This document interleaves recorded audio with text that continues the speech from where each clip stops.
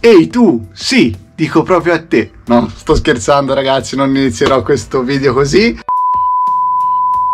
Ciao a tutti e bentornati in questo nuovo video. Allora, oggi vorrei mm, portarvi un po' alla conoscenza di un sito internet che mi è stato molto utile, che mi è molto utile in questo periodo e mi rivolgo a tutte quelle persone che hanno intenzione di acquistare una stampante 3D oppure che già la posseggono ma che non sanno disegnare o progettare in CAD e in 3D quindi. Ma perché vi dico questo? Perché ci sono dei siti internet che sono delle vere e proprie piattaforme dove gli utenti registrati possono caricare i loro progetti in 3D ed altri utenti possono scaricarli proprio per poterli stampare subito con la propria stampante 3D. Infatti ci sono anche riguardanti al mondo dei ciao dei, dei filtri più aperti oppure dei tappi serbatoio, delle mascherine per i fari, insomma degli oggetti carini da stampare per iniziare a prendere dimestichezza proprio con queste stampanti. Quindi non perdiamo tempo e spostiamoci nel PC. Allora ragazzi, eccoci nel PC, non vi resterà altro che entrare su Google e scrivere Thingiverse, proprio come ho scritto io, e cliccare sul primo sito. Questo è praticamente un portale, uno fra i tanti, diciamo quello più principale, più famoso, che contiene tutti i vari progetti che le persone caricano proprio su questo sito, in questa piattaforma, per poi poterli condividere. Quindi ognuno di voi potrà poi scegliere il proprio progetto e semplicemente stamparlo con la propria stampante 3D. In alto, qui nella barra centrale, potete cercare quello che, che più ecco, vi serve. In questo caso mettiamo ciao Piaggio.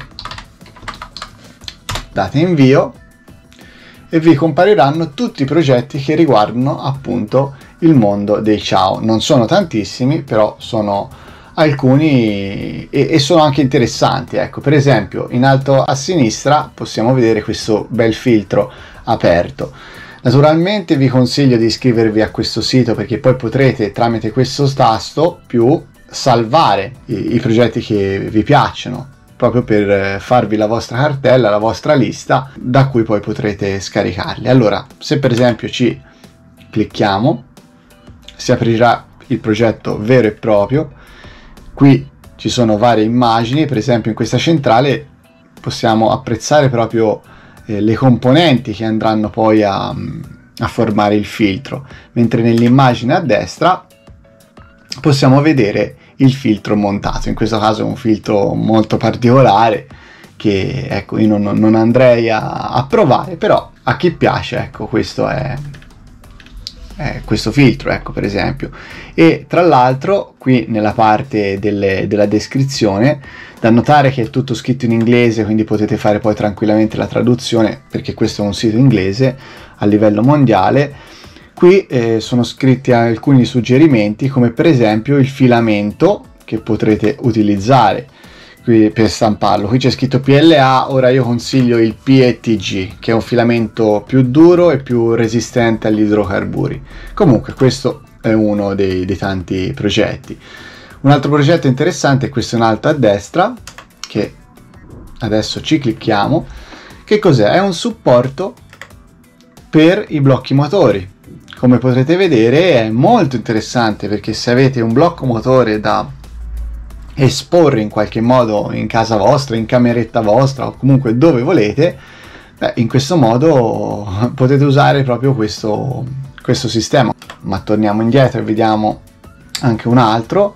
Qui eccoci, c'è il filtro originale, c'è qui a sinistra un, un portagetti, un portagiglè, eh, c'è la, la, maschera per eh, avere il bollo esposto come si faceva un tempo, oppure c'è questo filtro.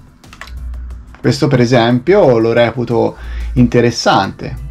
Un progetto, un bel progetto, ecco, un filtro sicuramente molto più aperto dell'originale, che si può aprire, ci possiamo mettere la spugna dentro, insomma. Ci sono delle cose interessanti. Quello originale va bene, lo sappiamo, lo conosciamo, poi c'è questa mascherina che di solito ecco, si usa metterla nel, nel faro anteriore, anche questa interessante, questo è solo il progetto, ma vediamo un po' la mascherina stampata, questo è l'interno, questo è l'esterno, eh, devo dire che sì, non è, non è male.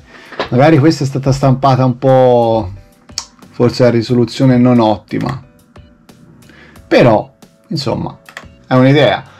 Naturalmente il progetto è questo, è ben fatto, quindi poi il risultato di stampa, quello dipenderà poi dalla vostra stampante, dai vostri settaggi.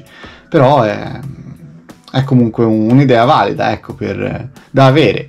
Guardate per esempio qui, c'è questo cassettino porta oggetti, veramente particolare, questo se non sbaglio è il Ciao ultimo, uno degli ultimi modelli, se non sbaglio, comunque particolare, ecco, un cassettino estraibile semplicemente fatto con la stampante 3D. Tra l'altro, ora questo solo per darvi un suggerimento, se scriviamo per esempio guida flussi